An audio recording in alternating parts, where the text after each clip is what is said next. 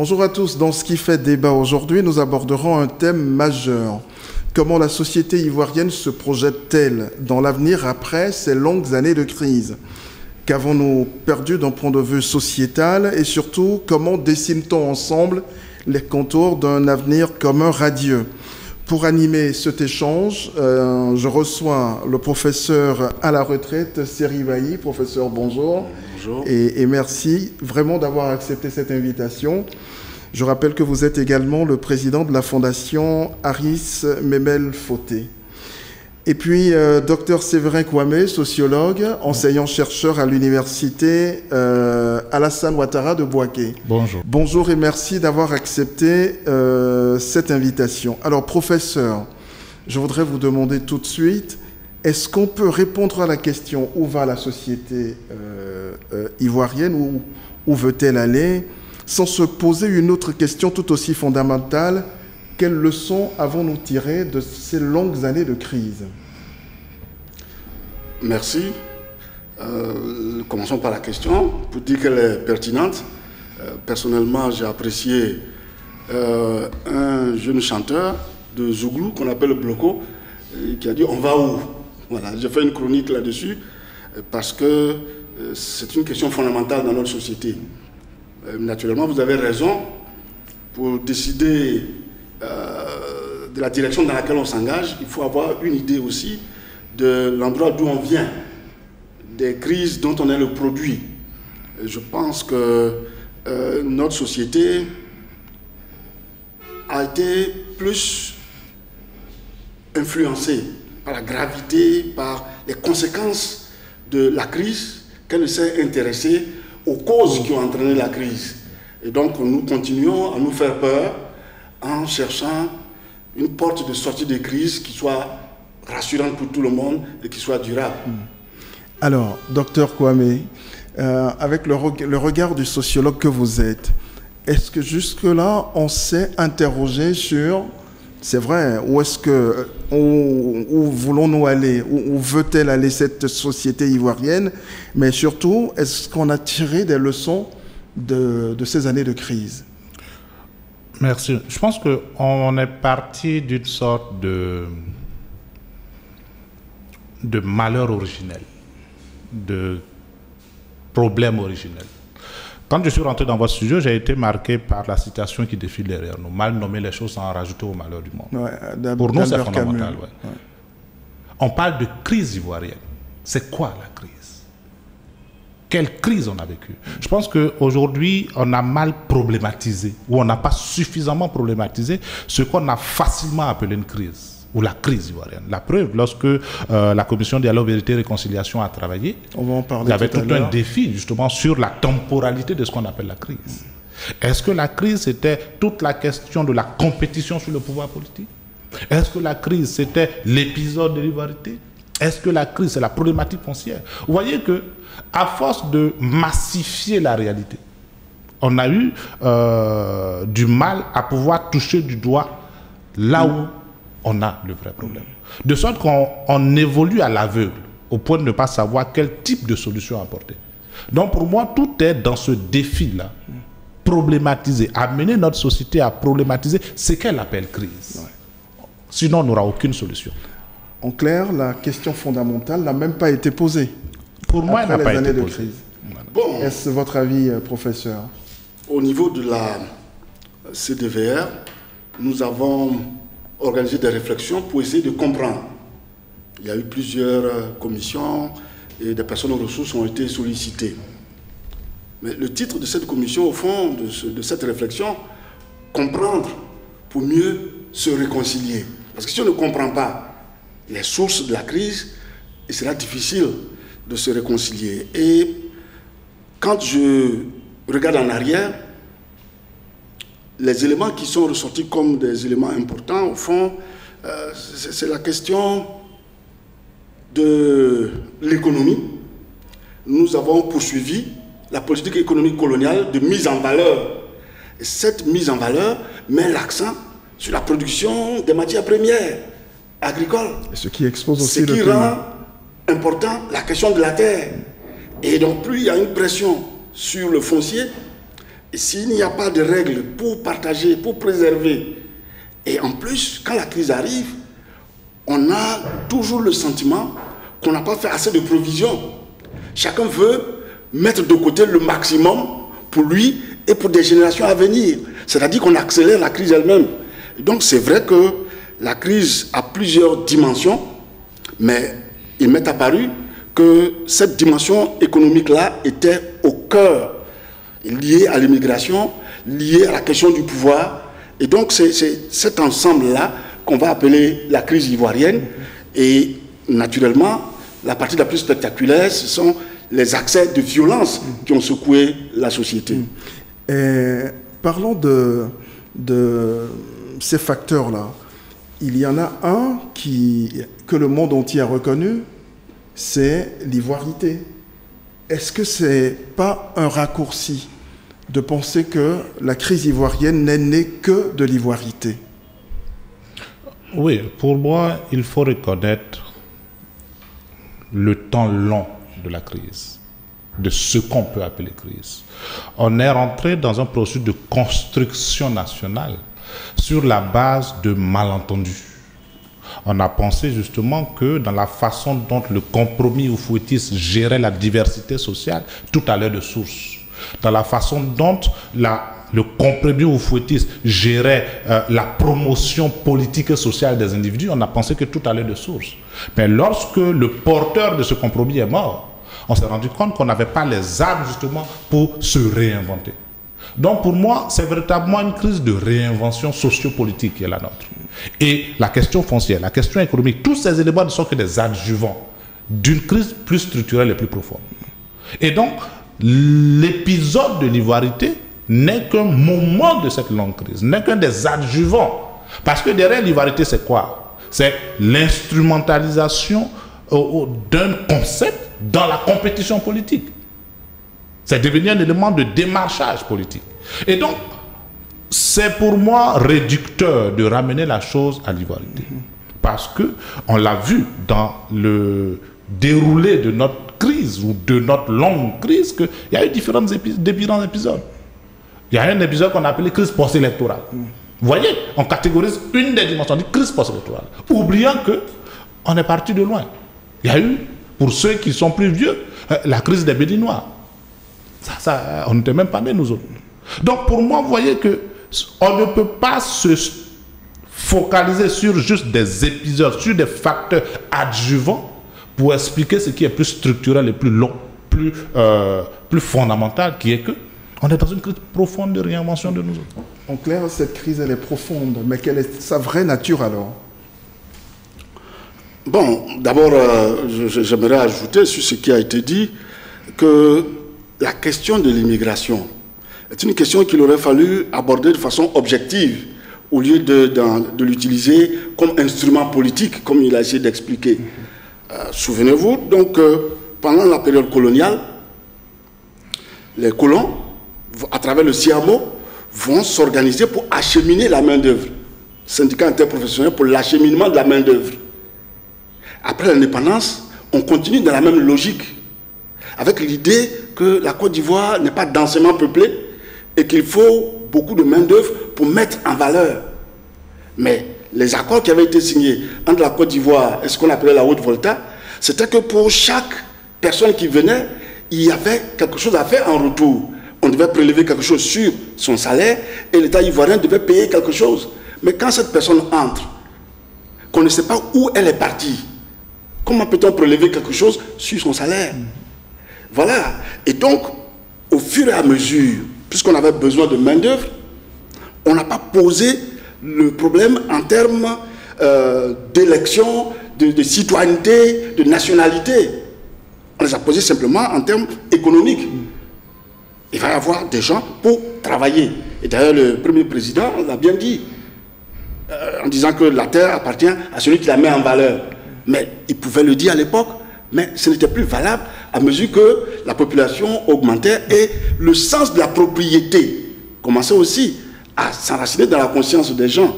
Et donc il y a beaucoup de problèmes. Et quand la démocratie vient, euh, quand la démocratie vient, elle devient un problème de comptage de voix de statistiques démographiques. À partir de ce moment-là, la question commence à devenir politique. Donc, au fond, pour moi, au cœur de tout ça, il y a la pauvreté, mais il y a aussi la mise en œuvre de la démocratie. Tant que l'économie était florissante, on pouvait mener la politique qu'il faut amener.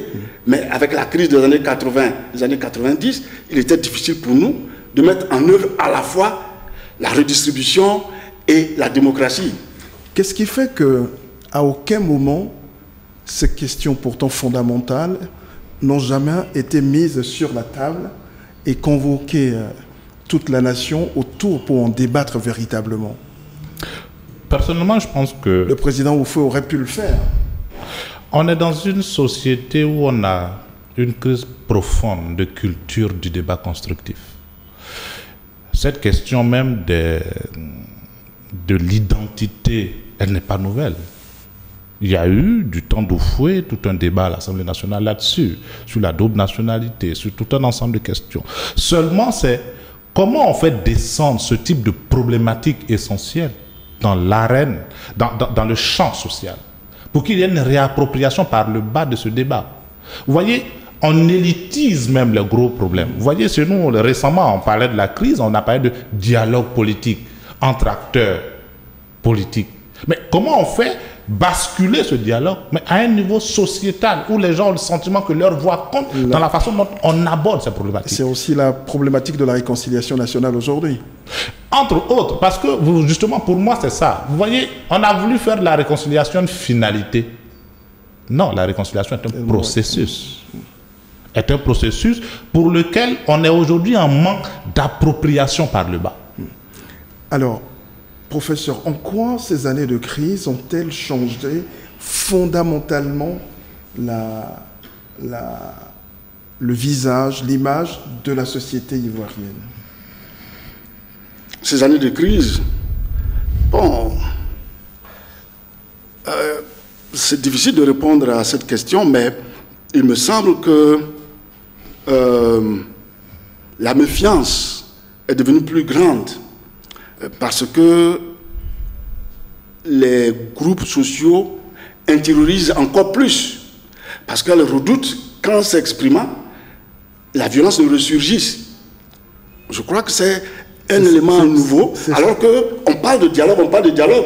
Ça suppose qu'il y a un minimum de confiance les uns dans les autres, en se disant que je vais dire ce que je crois être ma vérité, et que ce sera toléré par l'autre, et qu'il pourra à son tour dire sa vérité.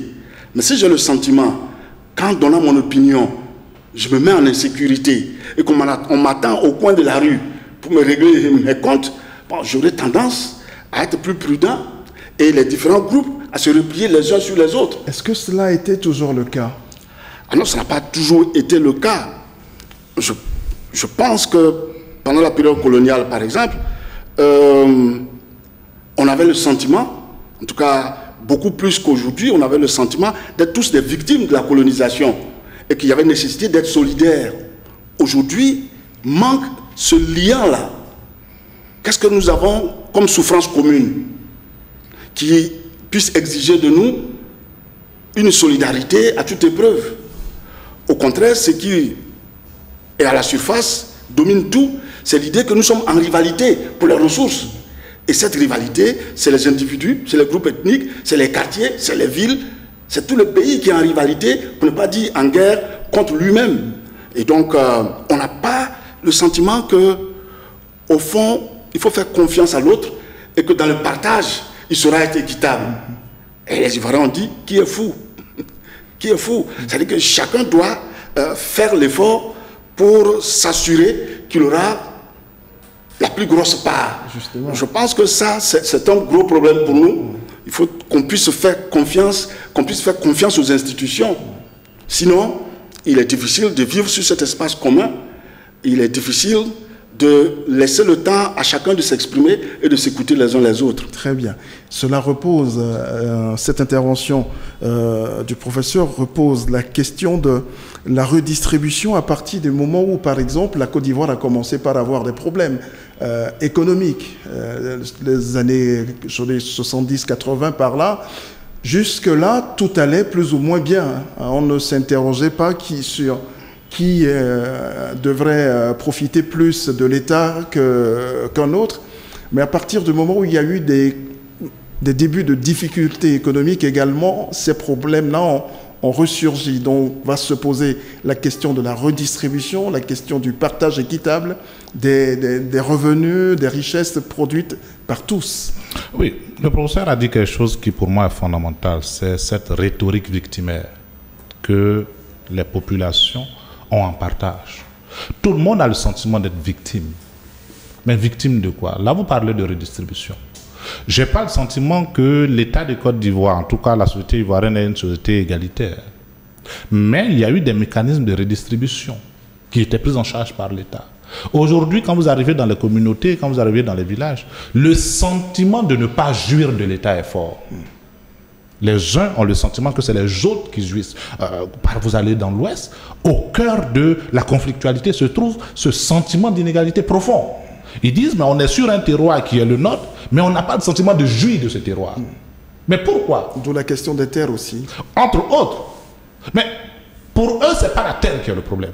C'est comment, de façon équitable, on jouit d'un terroir. Les autres peuvent travailler. Ils ont la force de travail que nous, que eux, ils n'ont peut-être pas. Ils viennent, ils sont structurés, ils, euh, ont une capacité, une force, de, un capital que peut-être que les autochtones n'ont pas. Mais il appartient à la force publique de mettre en place un mécanisme d'un minima de redistribution pour que ce sentiment ne soit pas, se cristallise pas au point de générer des inimitiés. Des conflits. Pendant longtemps, par exemple, la question du tutorat, toutes ces formes de... Ça crée un minimum de redistribution. Les gens avaient trouvé des mécanismes.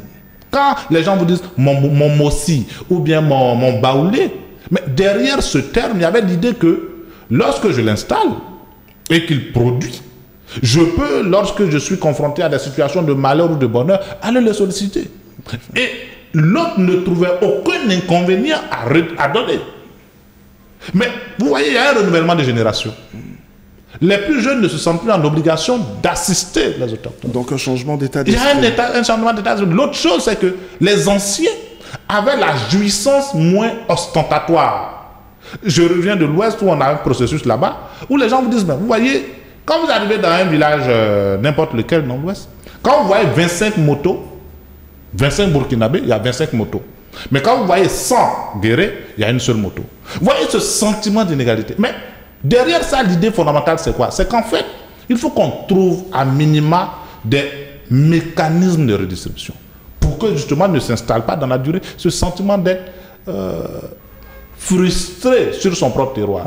Les gens, même quand on fait, les gens se réapproprient les terres après, c'est même pour les remettre. En fait, l'idée c'est quoi? Et ça, ça me ramène à ce que je disais tantôt. Notre capacité à réinventer de nouvelles règles du jeu.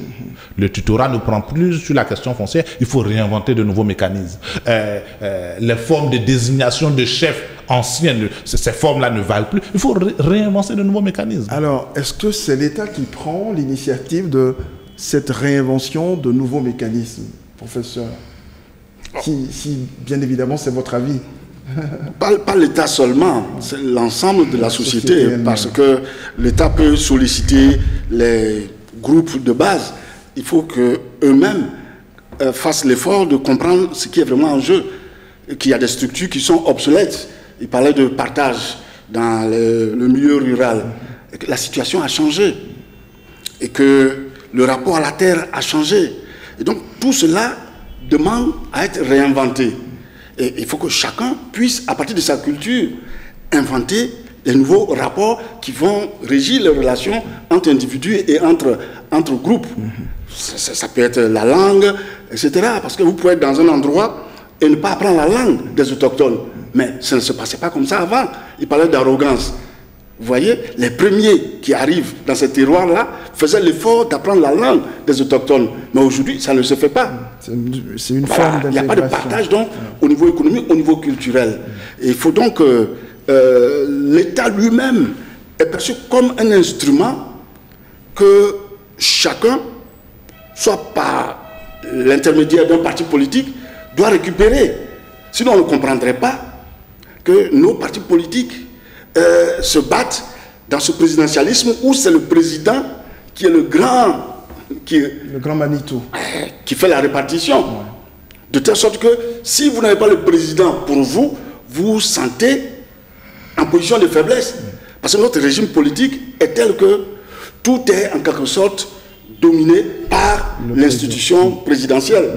Il faut donc que les autres structures soient plus autonomes, qu'on soit persuadé que la justice sera juste, par exemple. Voilà. Ceux qui partagent vont faire preuve d'équité. Donc je crois que c'est tout cela, mais en même temps que les, décideurs aient en face d'eux, comme dit quelqu'un, des décidés, euh, des décidés prêts à défendre leurs droits, en tout cas à exprimer leurs aspirations pour qu'elles soient prises en compte.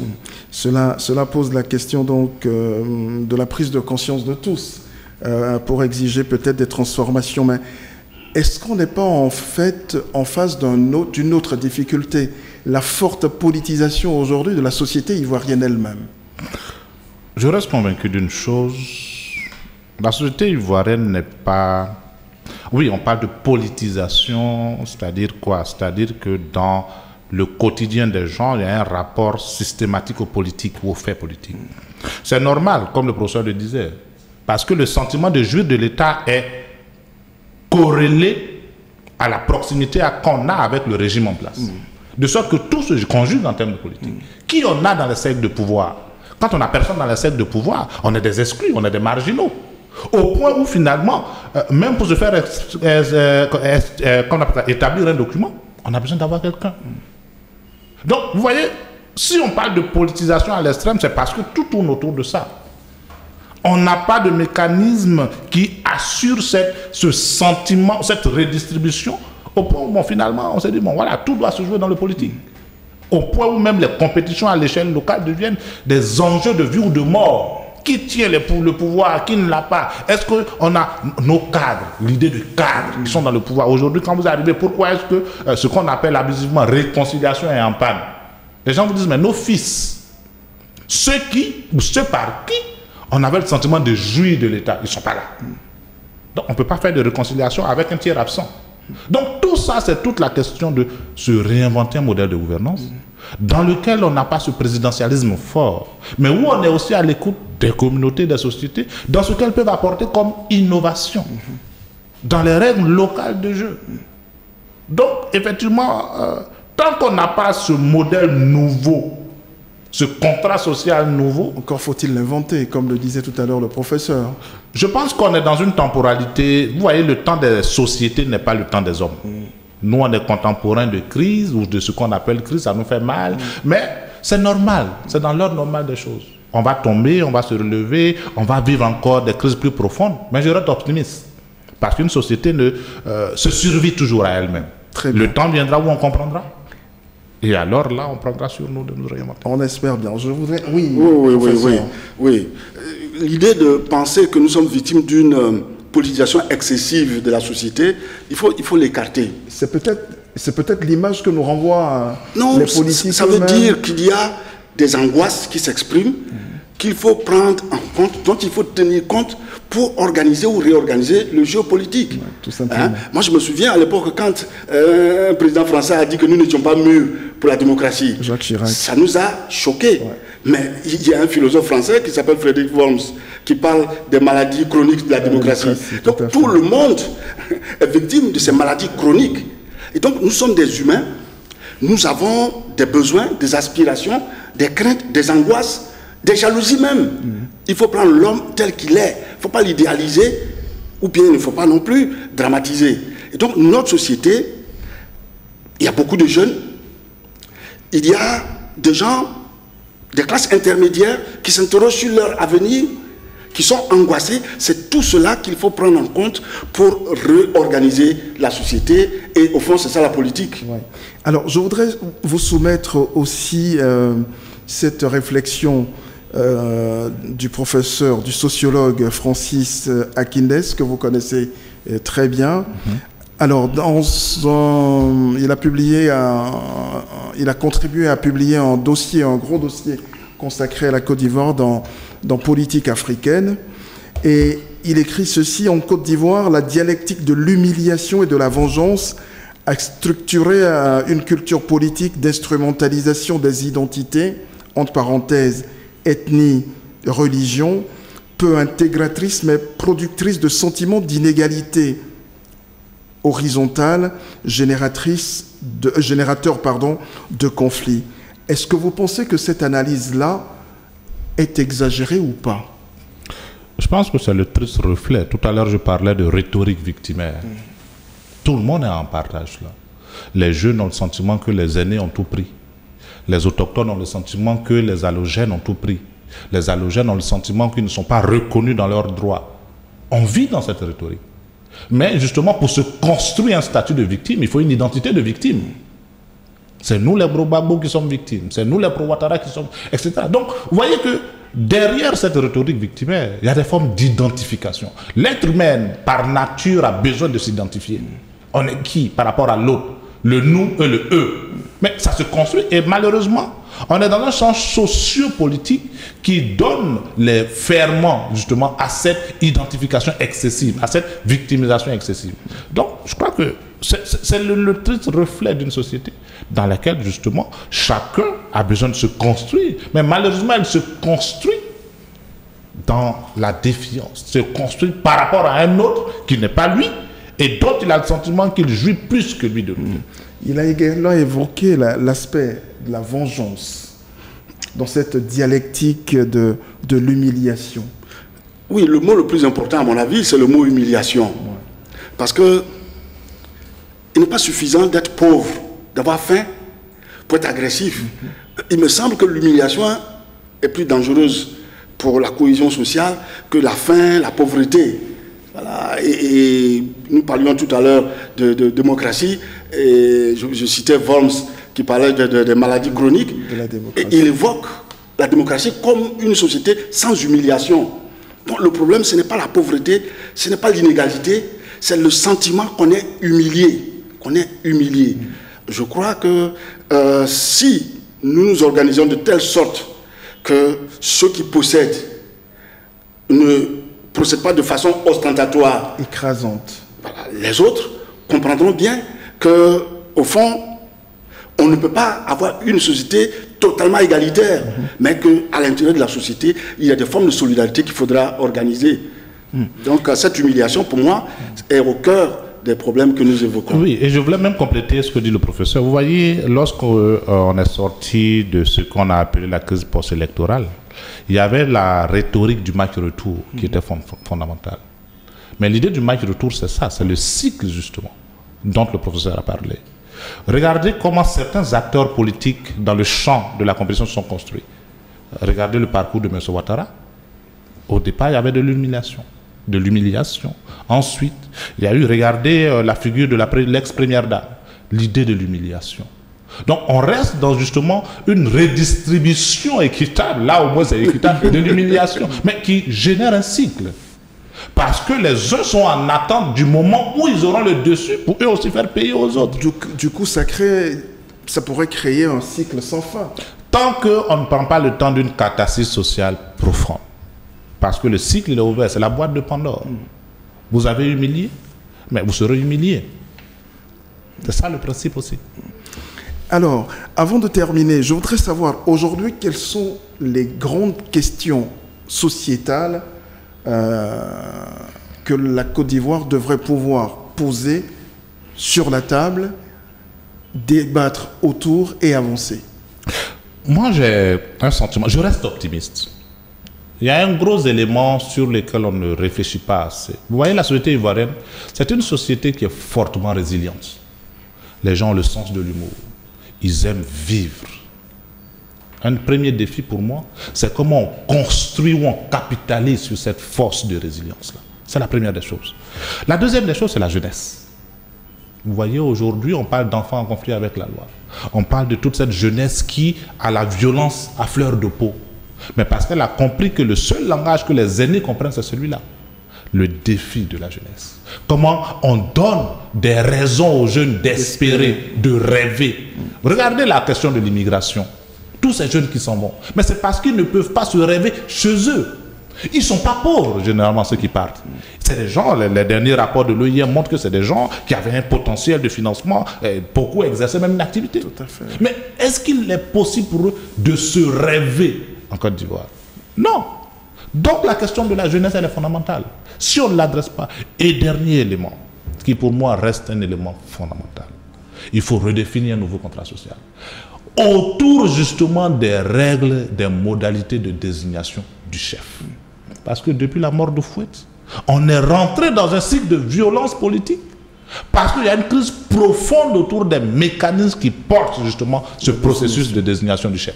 Donc, si on ne le règle pas, mais tous les autres problèmes sociétaux vont s'agréger autour de ça. Parce que ces entrepreneurs politiques, ces acteurs politiques ont l'art de démarcher les gens sur leur vulnérabilité. Mm.